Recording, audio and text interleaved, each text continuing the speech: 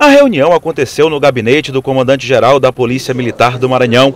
A ideia era traçar novas estratégias que possam coibir os assaltos no transporte público da cidade. Só na noite de segunda-feira foram pelo menos três assaltos a ônibus, segundo o Sindicato dos Rodoviários. As três ocorrências foram no centro da cidade. O Sindicato dos Rodoviários divulgou os números relacionados aos quatro primeiros meses deste ano. Janeiro foi o mês mais violento, com registro de 66 assaltos. Em fevereiro foram 21, março 53 e abril voltou a alcançar os 60 assaltos, média de dois por dia.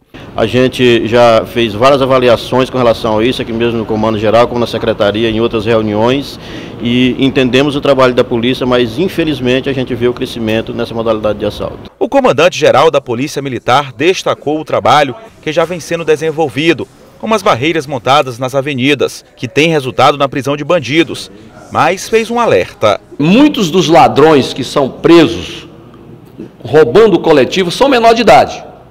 Então a Polícia Militar, a Polícia Civil está fazendo a parte dela, mas a Guarda Municipal também tem que fazer a parte dela. A Guarda Municipal tem que ocupar os terminais mas a Polícia Militar também tem visitado os terminais. O número de assaltos a ônibus nos quatro primeiros meses deste ano foi maior do que durante o mesmo período no ano passado.